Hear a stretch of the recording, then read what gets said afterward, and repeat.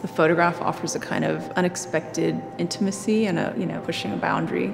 My hope is that you can empathize and maybe even recognize, you know, something in someone that you might not pay very much attention to.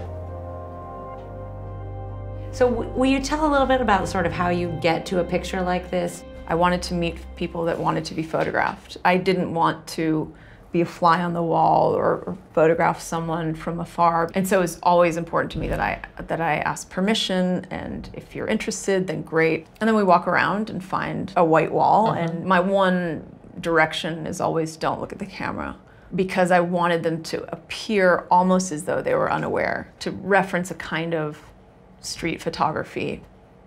Eventually, they kind of often relax or they're bored or aggravated, maybe a little bit of, okay, are we done yet? Um, and then something interesting happens, and those are almost inevitably the best pictures. When you make a picture that's this reductive, you take so much away, so much context, so much you know, potential narrative.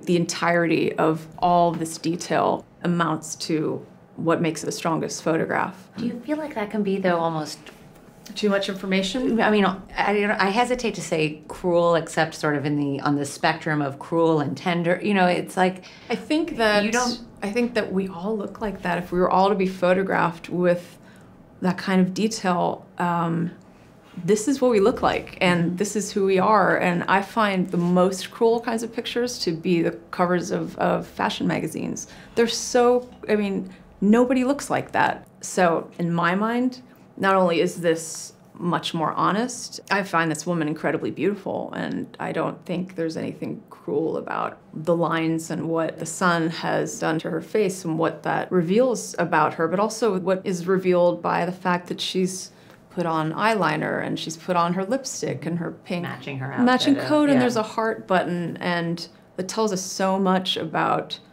in a way, her optimism part of the, the criticism of my work has always been, oh, you're photographing poor people or you're photographing the homeless, although that's a broad assumption. They are not celebrities, they're not politicians.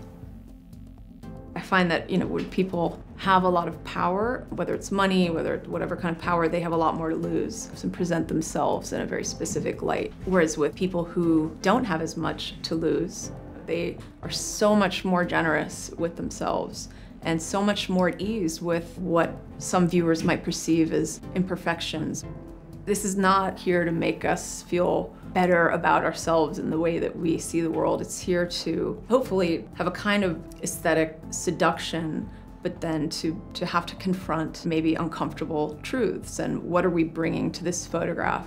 Why am I uncomfortable confronting this, this person? What is it about me? And I think you have to contend with, with a lot. And that, to me, is, is a, a very worthwhile experience.